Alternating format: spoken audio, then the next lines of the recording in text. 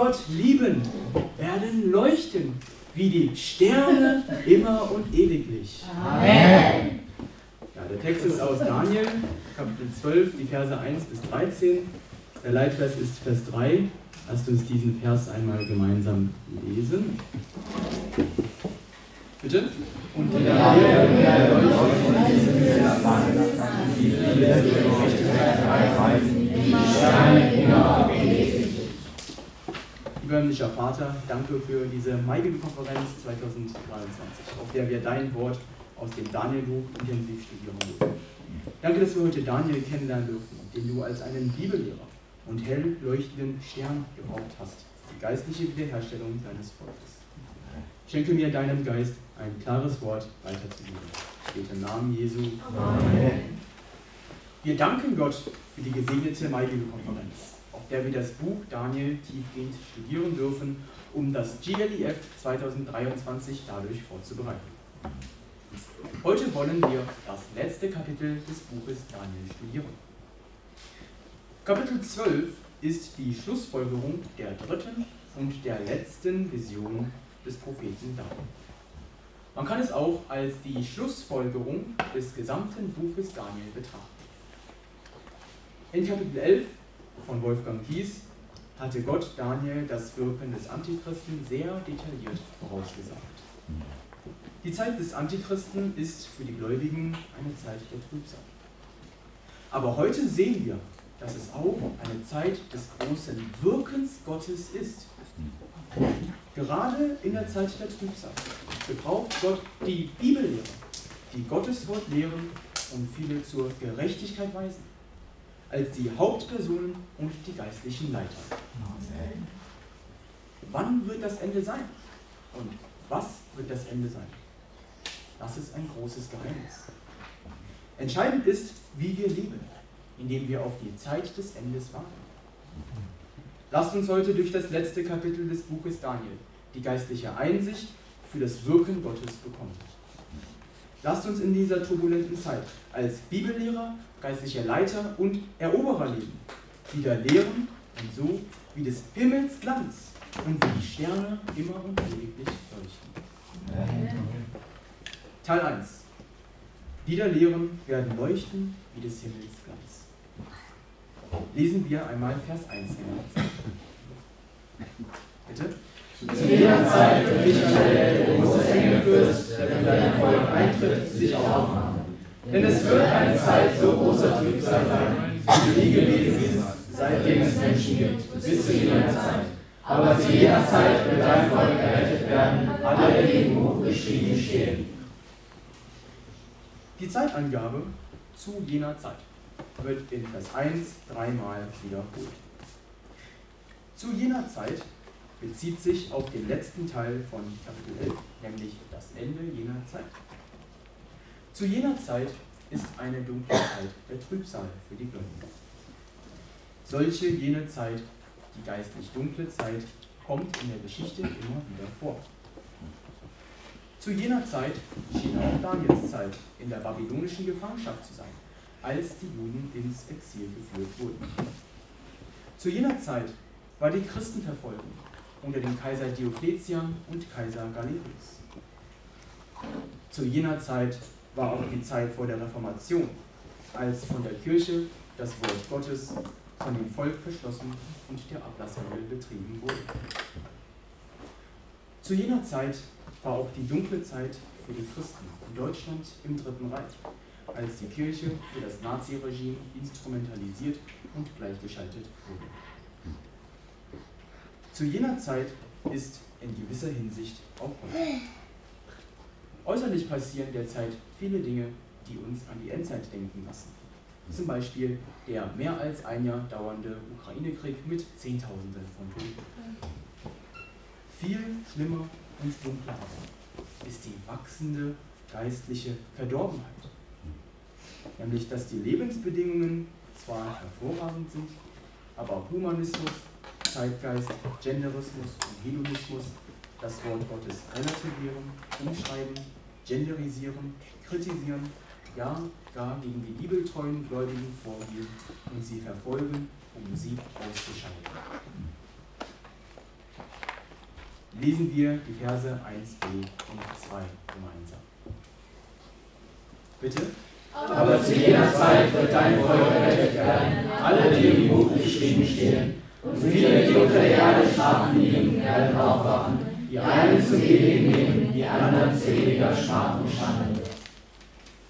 Viele Theologen beziehen diese Verse auf das Wirken Gottes in der letzten Zeit in Johannes 5, 28, 29. Wundert euch darüber nicht, denn es kommt die Stunde, in der alle, die in den Gräbern sind, seine Stimme hören werden und werden hervorgehen, die Gutes getan haben zur Auferstehung des Lebens, die aber Böses getan haben zur Auferstehung des Gerichts. Jesus sagte hier, dass am Ende der Zeit Gott sein Wort sprechen wird. Dann werden alle auferstehen. Aber es wird einen klaren Unterschied geben. Diejenigen, die Gutes getan haben, werden zum ewigen Leben auferstehen. Diejenigen, die Böses getan haben, zum jüngsten Gericht. Jesus sagt hier, dass der Tod nicht das Ende ist. Am Ende kommt entweder die Auferstehung des Lebens oder andernfalls das Gericht Gottes. Gott wird sich zu seinem Volk bekennen und sein Volk wird zum ewigen Leben aufwachen. Darum dürfen wir unbeirrt unser Leben für Gottes Mission und die Ausbreitung seines Reiches einsetzen. Zum anderen sagt Gott in diesen Versen, dass gerade in der Zeit der Trübsal ein großes Werk der Errettung geschieht. Lesen wir dazu den Leitvers, Vers 3 gemeinsam. Bitte? Und die da lehren werden leuchten wie des Himmels und die viele zur Gerechtigkeit weisen wie die Sterne immer und ewig. Ein Sprichwort besagt, dass wenn die Nacht am dunkelsten ist, die Dämmerung am nächsten ist. Gerade wenn die Nacht am dunkelsten ist, geschieht das hoffnungsvolle Werk der Errettung und der Wiedererweckung durch diejenigen, die Gottes Wort weissagen, wie Ezekiel 37,10 offenbart. Und ich weissagte, wie er mir befohlen hatte. Da kam der Odem in sie und sie wurden wieder lebendig und stellten sich auf ihre Füße ein überaus großes Heer. In der NIV heißt es dazu, Those who are wise will shine like the brightness of heavens, and those who lead many to righteousness like the stars forever and ever. Was für eine wunderbare Verheißung ist das? Hier können wir zwei Dinge kennenlernen. Erstens, welch große und entscheidende Rolle die Bibellehrer in jeder Zeit spielt. Die da lehren und die viele zur Gerechtigkeit weisen, sind die Bibellehrer, die gerade in der dunklen Zeit Gottes Worte erforschen, ihm gehorchen und es lehren. Wie die Sterne, die man nur in der Nacht sieht, sind die Bibellehrer das helle Licht für eine finstere Zeit die wie des Himmels Glanz leuchten und viele zum Wort Gottes führen. Gerade durch einen Bibellehrer, der eine klare Entscheidung für Jesus trifft, Gottes Wort zu lehren, kann Gott sein Werk tun. Mehr als alles andere hat Gott uns die Aufgabe gegeben, die lehrenden Bibellehrer in jener Zeit zu sein. Zu jener Zeit ist auch die Gesellschaft heute. Aber wir dürfen treu an unserer Aufgabe als bibeltreue und gehorsame Bibellehrer, die der Lehren festhalten. Wir dürfen Gottes Wahrheit verkünden, indem wir treu das Bibelstudium und die Lebensgemeinschaft führen. Manchmal scheint dies nur klein auszusehen. Doch unsere Entscheidung wird nachhaltig sein und unser Stern wird am Himmel immer und ewiglich bleiben und scheinen und viele zur Gerechtigkeit zu Jesus, zurück zur Bibel führen und als entschlossene Jünger und Streiter Jesu Christi aufstellen. Zweitens, wir sind nicht alleine. Es gibt zahllose Glaubensvorfahren und Glaubenshelden, die uns vorangegangen sind und hell am Himmel strahlen. Zu jener Zeit, eine Zeit des Trübsals, war die Zeit des jüdischen Exils als die Israeliten wegen ihres wiederholten Ungehorsams ihr verheißenes Land verloren. Doch Gott stellte einen Bibellehrer Daniel auf, der eine klare Lebensentscheidung traf, nicht mit Fleisch und Wein die Götzen anzubieten, sondern am Wasser und am Gemüse des Bibelstudiums festzuhalten. So konnte er als Bibellehrer für Nebukadnezar gebraucht werden und half ihm, dem lebendigen Gott, der über ihm steht, anzuerkennen. Er gebrauchte ihn auch als einen Bibellehrer für Belsatzer und für Darius.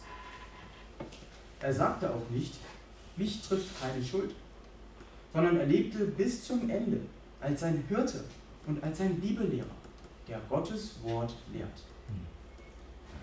Er bekannte die Sünde seines Volkes als seine eigene Sünde und kämpfte mit dem Engelfürsten Gottes in Fasten und Gebet für sein Volk, den Ratschluss Gottes zu erkennen. Daniel wurde zu einem strahlenden und leuchtenden Stern für immer und ewig. Die Zeit der Gefangenschaft war nun keine Zeit der Trübsal mehr, sondern Gott bereitete vielmehr die geistliche Wiederherstellung seines Volkes durch Nehemia und durch Esra als seine königliche Priesterschaft wieder vor. Zu jener Zeit, als die Kirche im 16. Jahrhundert sogar die Knechte Gottes, die Jan Hus, hinrichtete, stand ein Bibellehrer Martin Luther auf. Er lehrte Gottes Wort aus Römer 1,17, dass wir nicht durch Ablasshandel gerecht werden, sondern durch die Gerechtigkeit und die Gnade Gottes, welche aus Glauben kommt. Da wurde er 1517 vor dem mächtigsten Kaiser der mittelalterlichen Welt vorgeladen. Luther diente auch ihm als Bibellehrer. So bin ich durch die Stellen der Heiligen Schrift überwunden in meinem Gewissen und gefangen in dem Worte Gottes. Daher kann und will ich nichts widerrufen. Gott helfe mir. Amen. Auch in der Wartburg war er ein Hirte und Bibellehrer für sein Volk, der ihnen Gottes Wort lehrte, indem er die Bibel für sie ins Deutsche übersetzte. Da gebrauchte Gott ihn als den einen Stern, für immer und ewiglich, durch den ein ganzer Kontinent seine geistliche Identität als ein Königreich von Priestern erneuern durfte. Zu jener Zeit als im Dritten Reich alle Hitler gefallen wollten und die Kirche gleichgeschaltet und arisiert wurde, stand ein Bibellehrer, Dietrich Bonhoeffer, auf. Dietrich Bonhoeffer ließ sich nicht von Hitler einschüchtern. Als der international führende Theologe seiner Zeit hätte er ein sicheres Leben im fernen Amerika führen können. Doch er sah, dass sein Volk, die Deutschen, ihn geistlich brauchte. Karl Barth schrieb ihm, Sie müssten jetzt alle noch so interessanten denkerischen Schnörkel fallen lassen und nur das eine bedenken, dass Sie ein Deutscher sind, dass das Haus Ihrer Kirche brennt dass Sie genug wissen, um zu Hilfe befähigt zu sein und dass Sie im Grund mit dem nächsten Schiff zurückkehren müssten. Deshalb kehrte er zurück, um ihnen mit dem Wort Gottes zu dienen. Obwohl sein Predigerseminar mehrmals geschlossen wurde, führte er das intensive Bibelstudium und die geistliche Lebensgemeinschaft mit seinen Bibelschülern im Untergrund weiter. Er wurde hingerichtet. Aber er und Bibellehrer im Dritten Reich wie Karl Barth oder Wilhelm Busch sind bis heute die strahlenden und die leuchtenden Sterne am Himmel, die viele zur Gerechtigkeit wiesen und sie als Jünger Jesu Christi aufstellten sodass Gott Deutschland Gnade für den geistlichen und den praktischen Wiederaufbau schenkte. Zu jener Zeit war auch die Zeit des fatalistischen Korea, das zweitärmste Land der Welt mit zwei Millionen Toten und einem geteilten Land nach dem Koreakrieg. Zu jener Zeit erweckte Gott den Geist von Missionar Dr. Samuel Lee und Missionarin Sarah Bell. Ihr Bibelstudium vor allem ihr Genesis-Bibelstudium und ihr Englisch-Bibelstudium brachte das Licht des Evangeliums zu den intellektuellen, aber verzweifelten Studenten und wiesen unzählige zur Gerechtigkeit Gottes.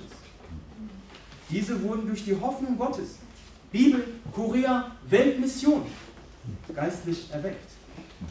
Sie dienten als Gottes überaus großes geistliches Heer von Laienmissionaren der Campusmission in mehr als 90 Ländern der Erde, bis nach Russland, China und in die muslimische Welt bis auf den heutigen Tag. Zu jener Zeit war auch 2020 die Zeit der harten Verfolgung unserer Gemeinde, die das Werk des Jüngererziehungswerkes und des GLIF zerstören und unterdrücken wollten. Doch der Knecht Gottes und Miss Sarah gaben nicht auf. Sie standen auf und lehrten Gottes Wort aus 1. Petrus 4,13.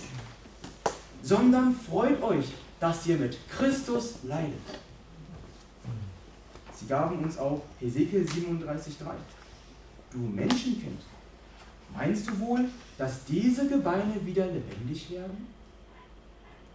Sie sind heute die hell leuchtenden, strahlenden Sterne am Himmel, die die nächste Generation und die Hoffnungsträger zur Gerechtigkeit führen.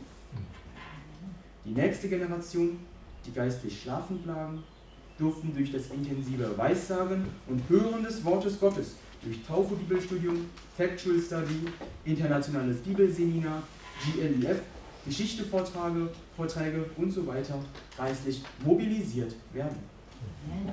Sie durften eine klare Entscheidung für die Vision und die Mission Gottes treffen.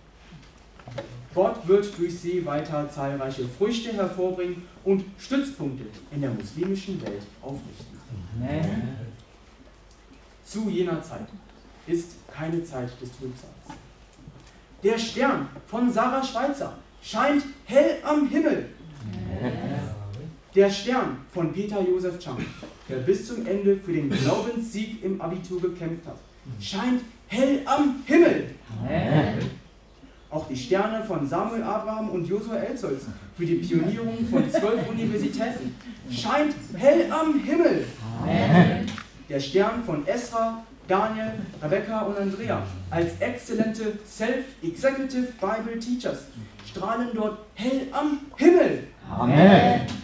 Die Sterne von Wolfgang, Simon, Paul, Olaf und Isabel für die Pionierung von 1700 Universitäten und Hochschulen scheinen hell am Himmel für immer und ewiglich. Als ich auch in der geistlichen Trübsal meines Egoismus, der Begierde und der Rebellion lebte, diente Gott mir durch einen Bibellehrer, dem Knecht Gottes, mit Hebräer 5, 8 und 9. Er half mir, in einem Aufsatz darüber nachzudenken, wer Jesus ist. Dank sei Gott, der mir große Erkenntnis über Jesus gab, der alle meine Sünde auf sich nahm und für mich am Kreuz starb, um mir das ewige Heil zu schenken. Dank sei Gott, der mich zur Gerechtigkeit geführt hat. Nun hat Gott auch mich als einen Bibellehrer und leuchtenden Stern in dieser geistlich finsteren Gesellschaft aufgestellt. Dank sei Gott, der mich in dieser Osterzeit und im vierten Semester durch den Knecht Gottes ermutigte, nicht selbstzentriert zu leben, sondern mit Johannes 10,11. Ich bin der gute Hirte. Der gute Hirte lässt sein Leben für die Schafe. Praktisch wie Daniel als Campushirte und Bibellehrer, der Gottes Wort lehrt, heranzuwachsen. Amen.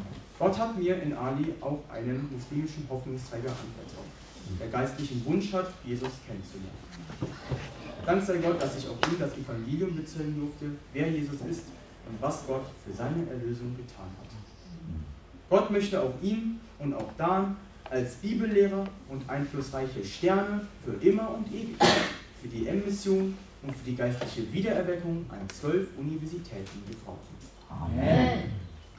Gott hat mich nicht als einen gewöhnlichen, kleinbürgerlichen Arzt berufen, der für seine Karriere oder selbstsüchtig lebt. Sondern Gott beruft mich mit Johannes 10,11 als einen Bibellehrer, der den geistig kranken Menschen Gottes Wort lehrt. Als ein solcher Bibellehrer darf ich mit dem Knecht Gottes intensiv für die Vorbereitung von GLEF durch das Daniel-Bibelstudium zusammenarbeiten, damit die nächste Generation und die jungen Studenten als globale geistliche Leiter und Bibellehrer wie Daniel mobilisiert werden. Ich darf auch auf täglicher Basis einem Hoffnungsträger und Freund an der medizinischen Fakultät Gottes Wort lehren. Gott möchte mich als einen Bibellehrer in der finsteren Zeit gebrauchen, der einer der einflussreichen, leuchtenden Sterne für immer und ewig ist, und durch den die Medizinstudenten in Deutschland und Europa als überaus großes Heer von Jüngern Jesu und Streitern Christi aufgestellt werden, die Gottes Heilsgeschichte weiterführen. Lesen wir einmal Vers 4 gemeinsam. Bitte? Du, Daniel, verwirk dieses Wort und versiegle dieses Buch bis auf die letzte Zeit. Viele werden es dann durchforschen und große Erkenntnis finden. Wenn wir heute das Buch Daniel lesen, wundern wir uns, wie präzise die Vorhersagen Gottes in der Geschichte der intertestamentalischen Zeit waren. Sogar die Bibelkritiker sagten daher zu allen Zeiten, dass das Buch Daniel nicht von Daniel selbst im 6. Jahrhundert vor Christus, sondern von einem Pseudo-Daniel in der Mitte des 2. Jahrhunderts vor Christus geschrieben wurde. Das Wort durchforschen meint hier im wörtlichen griechischen Sinne, dass man ein Buch von Anfang bis zum Ende durcharbeitet. Wenn man ein Buch von Anfang bis zum Ende durcharbeitet, findet man große Erkenntnis. Aber heutzutage nehmen sich viele nur ein paar Versschnipsel aus der Bibel, die ihnen gefallen. Einige ignorieren Teile der Bibel oder andere sagen, das ist doch bestimmt alles nur allegorisch gemeint. Dank sei Gott, dass er der nächsten Generation durch das GLIF erlaubt hat, den Hebräerbrief und das Danielbuch mehrmals und tiefgehend gemäß der IBS-Methode zu studieren, zu erforschen und zu durchdringen. Diese Bücher sind eine der herausforderndsten der Bibel. Aber die nächste Generation konnte durch die Factual Study der ersten fünf Bücher Mose, durch die Geschichtevorträge von der Schöpfung bis zur Apostelgeschichte und ferner der Kirchengeschichte die gute Grundlage legen. Durch das mehrmalige Studieren des Hebräerbriefes, durch Botschaftsvorbereitung und Stellungnahme schreiben, konnten sie das Wort Gottes durchdringen.